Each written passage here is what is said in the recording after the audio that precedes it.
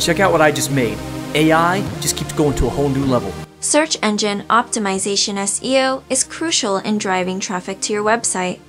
Here are 10 ways to improve your SEO. Produce unique, informative, and user friendly content that appeals to the interests and needs of your target audience.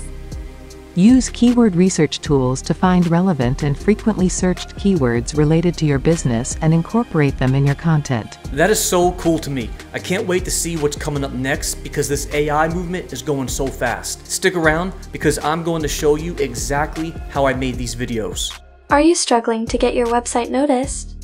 Apply these 10 proven optimization techniques to increase your visibility in search engine results pages and drive more organic traffic to your site. So how did I make these? Let's go on over to an app called AI Studios at aistudios.com and I'll walk you through it. But I must admit that it was still a little bit tricky to figure out and the editing portions of it weren't as user friendly as I would have hoped.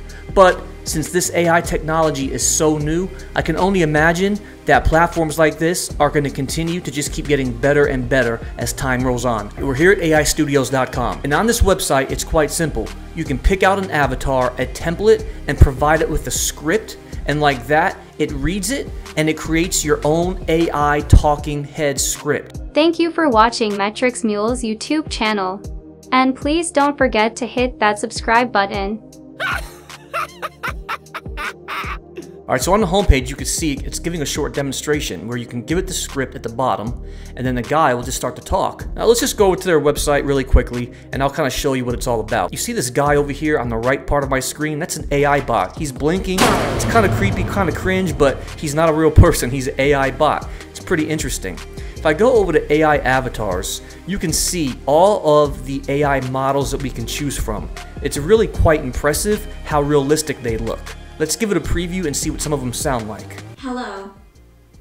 I am an AI human completely created by artificial intelligence. You can create these videos very easily. Try it yourself now. I am an AI human completely created by artificial intelligence. You can create these videos very easily. That's that's that's quite impressive. I mean, um, the when I'm, I'm watching the lips and it's matching up, and they they actually sound pretty realistic. Let's check out a few more. Hello. I am an AI human completely created by artificial intelligence. You can create these videos very easily. Try it yourself now.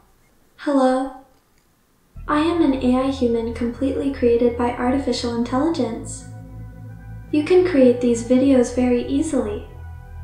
Try it yourself now. 안녕하세요.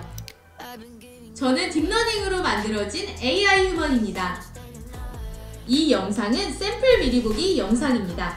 I didn't realize I had different languages. 你好，我是通过深度学习制作的虚拟数字人。这是公预览的样本视频。 I am a 3D character completely created by artificial intelligence.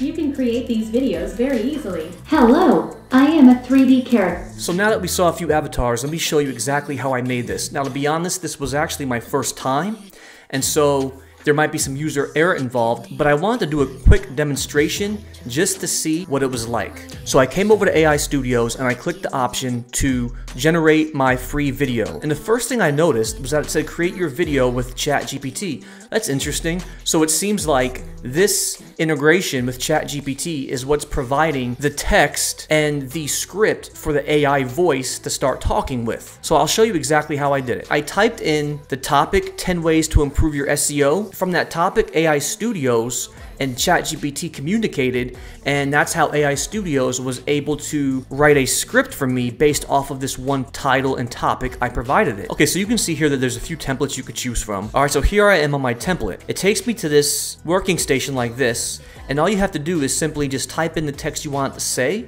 and you can click on your model and make her a larger or smaller size and move her around the whole slide. Okay, so as I moved on to my next slide, you can see on the right hand side, I clicked on the model and it gave me the option to change my model. And so that's what I'm about to do on my next slide after here. And on the right hand side, I can select the same model or choose a different one. I scroll down and I find another lady I can click on and I can resize her. I bring her down a little bit and you can see the first slide and the second slide has two models. And so now on the third slide, I can do the same thing. I can click on the model and then choose a different model. There's different variations, there's men, women, and different cultures, and as you saw, different languages as well.